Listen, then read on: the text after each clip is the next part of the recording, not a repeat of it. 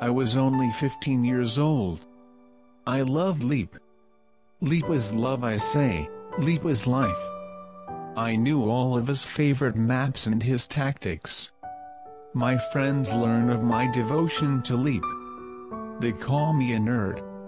I call them easy. They ban me from the practice server.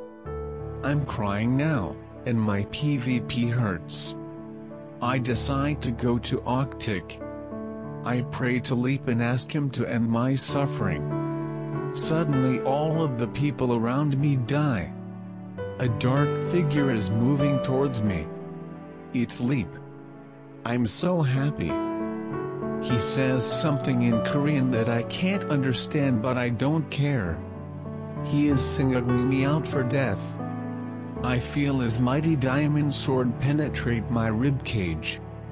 As my vision starts to blur he whispers in my ear.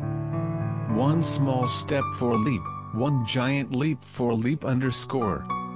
He runs off into the sunset comboing nerds as he goes. Leap is love. Leap is life.